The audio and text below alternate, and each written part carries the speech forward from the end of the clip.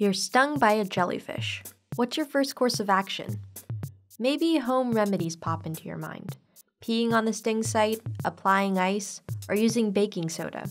If tentacles are sticking to your skin, you probably feel like you want to scrape them off. But none of these treatments work, and some will make things worse. And if you're stung by a box jellyfish, that could make the difference between life and death. We're in an area where there's very little tolerance for mistakes, and things that make things worse are, are a real tragedy in our mind. That's Angel Yanagihara, a researcher at the University of Hawaii at Manoa, who has been studying jellyfish venom for two decades.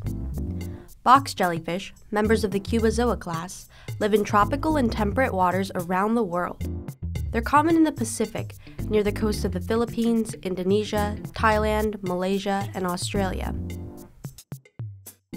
They inject venom into your skin by firing microscopic hypodermic needles at speeds of more than 60 kilometers an hour. The venom is a chemical cocktail that at high doses can cause cardiac arrest in less than 5 minutes.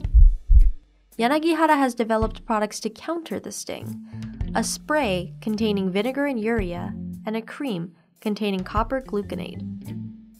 The spray, so it stops the, the cells from firing, the tentacle from firing all this venom. It doesn't stop the venom that's already in the body. The cream, on the other hand, does that.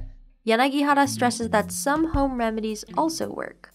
Simple vinegar can stop unfired venom cells as well, and he can block venom already injected. Not everybody agrees, however. One scientist says vinegar can actually make things worse.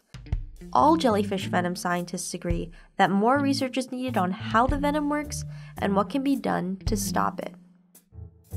In just the months of June and July itself, there were at least three kids, I guess you can call them, who died from box jellyfish in the Philippines itself. Yeah.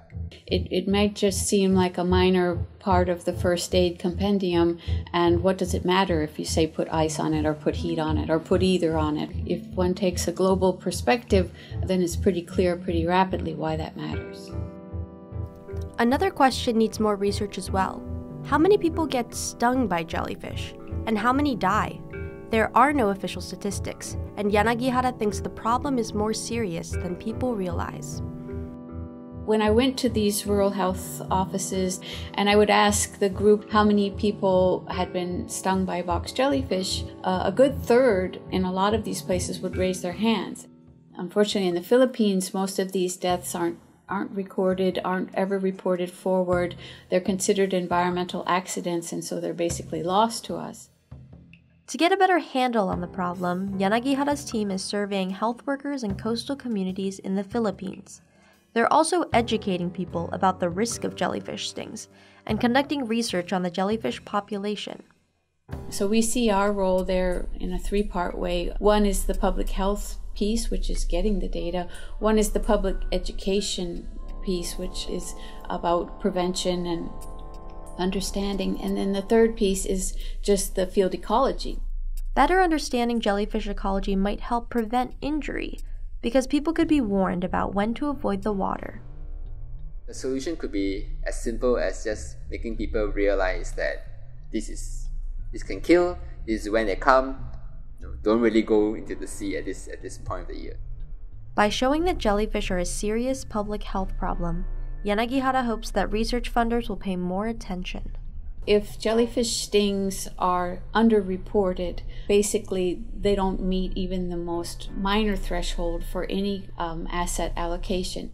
Professional scientists need to be really even more engaged in, in the public sphere and in, in cases in which there's real emotional pain and suffering if scientists stay in the ivory tower, the general populace doesn't feel connected with scientists.